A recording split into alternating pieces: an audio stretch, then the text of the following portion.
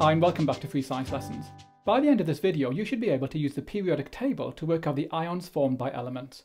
You should then be able to state the formulas of polyatomic ions. Okay, so in this video we're looking at ions. I'm showing you here a lithium atom forming the lithium ion. As you can see the lithium atom loses its one outer electron, and the ion produced now has a full outer shell. The lithium ion has the same electron configuration as the noble gas helium. Now this brings us to an important point. When metal atoms react, they tend to lose their outer electrons to form positive ions. I'm showing you a copy of the periodic table, and we can often use this to work out the charge on the ion formed by an element.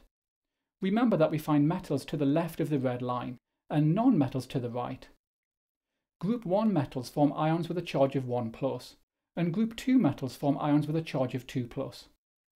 Now group 3 is more complicated and we cannot easily predict the charges on the ions of group 3 metals. However, there is one which you need to learn, and that is aluminium. Aluminium forms an ion with a charge of 3+. Plus. Looking in the centre of the periodic table, we've got the transition metals. Transition metals are unusual as they can often form several positively charged ions.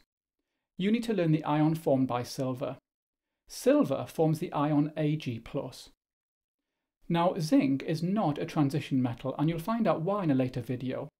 Zinc forms the ion Zn2+, and you need to learn that. Coming up, we're going to look at the ions formed by non-metal elements.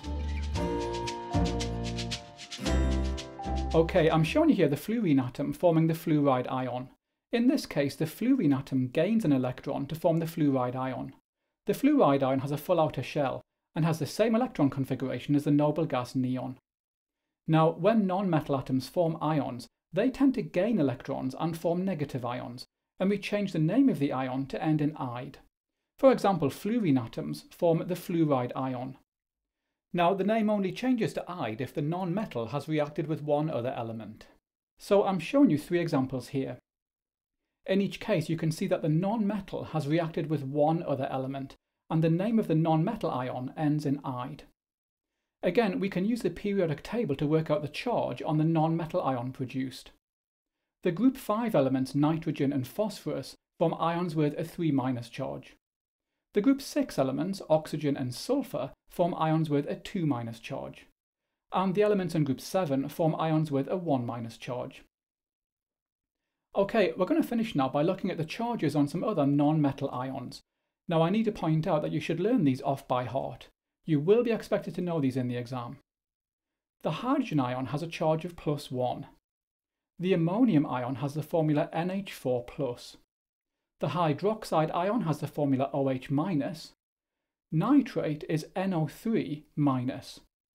Carbonate is CO3 2-, and sulfate is SO4 2-.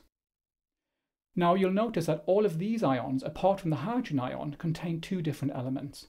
Scientists call these polyatomic ions. In the next video, we look at how to use the charges on ions to work out the formula of ionic compounds.